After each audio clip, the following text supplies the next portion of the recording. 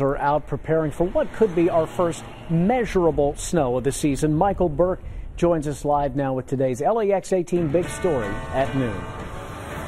That is right, Chris. As Tom alluded to, with that snowfall in our 24 hour forecast, the Kentucky Transportation Cabinet is already on top of things and watching the radar and addressing the usual slick spots to start things off. The trucks have been out all morning long getting the roads pre treated with salt brine. Now, that brine liquid creates those white or discolored lines you will see on dry pavement.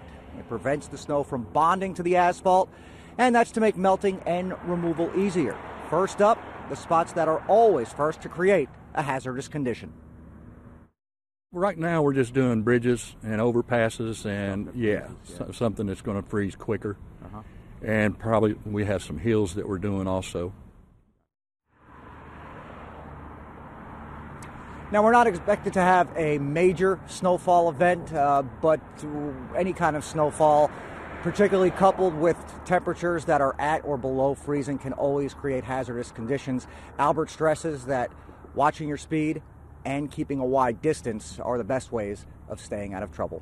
Covering the news live in Lexington from the LEX 18 mobile newsroom, let's send it back to you, Chris.